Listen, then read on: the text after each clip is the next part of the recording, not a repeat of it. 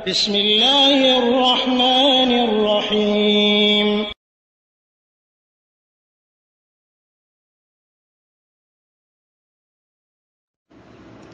ওয়ালাইকুম আসসালাম রহমতুল্লাহ বারকাত আব্দুর রশিদ ভাই ইন্ডিয়া থেকে জানতে চেয়েছেন বাসায় পোষা কুকুর যদি আমাদের পরিহিত কাপড় সয়ে ফেলে তাহলে আমাদের করণীয় কি আলহামদুলিল্লাহ সালাত আসসালাম আল্লাহ রসুল্লাহ সম্মানিত ভাই প্রথম কথা হলো বাসায় কুকুর পোষা এটা ঠিক না কারণ বাসায় কুকুর পুষলে আপনার সোয়াব কমে যায়।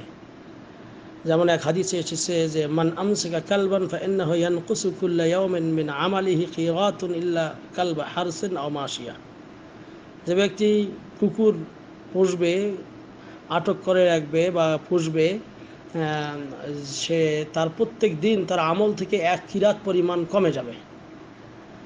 তা ওই কুকুর রাখা যাবে, সেটা যদি হার্স হার্স মানে যেটা এই ক্ষেত খামার পাহারা দেওয়ার জন্য, অথবা গরু, ছাগল, মহিষ, এইগুলিকে পাহারা দেওয়ার জন্য যদি কুকুর কেউ রাখে, সেটা শুধু রাখা যায়। তাছাড়া এমনিতে বাড়িতে কুকুর রাখা, কুকুর রাখলে আপনার সোয়াব কমে যায়। এই জন্য এগুলো থেকে আপনাদের আমাদের সাবধান হওয়া দরকার। আরও এক হাদিসে এসেছে ইনাল মালা একাতাল্লাহ খুলো বেতন ফি হেকালবুন ওলা সোরা। যে বাড়িতে কুকুর থাকে এবং ছবি থাকে সেই বাড়িতে ফেরেস্তা আল্লাহ ঢোকে না, যেটা এমনি মাজায় হাদিস বর্ণিত রয়েছে।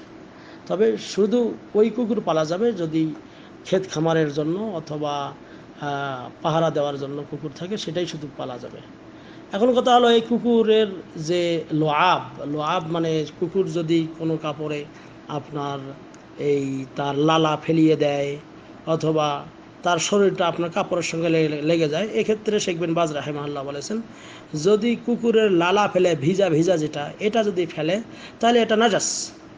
এটাকে আপনাকে ধুইতে হবে। সাতবার ধুইতে হবে, প্রথমবারে মাটি দিয়া।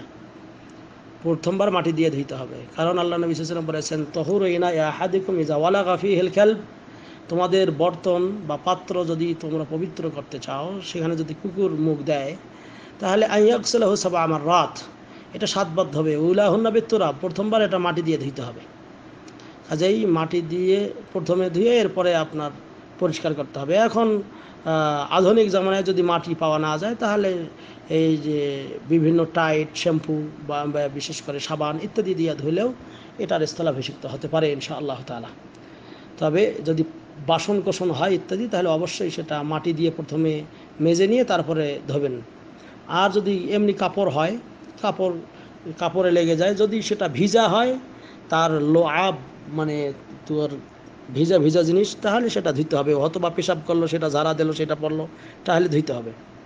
আর যদি এমনি শুকনা কুকুরের গায়ে আপনার লেগে গেছে, এই জন্য একটা ঝাড়া দিলেই যথেষ্ট, এটা এই জন্য ধোয়ার দরকার নেই। কারণ সেটা আর লেগে থাকে না। আশা করি ক্লিয়ার হয়েছে। হাজ আল্লাহ আলম সোহাব সাল্লাহ আলা নবীর রহমদ আসসালামু আলাইকুম রহমতুল্লাহ।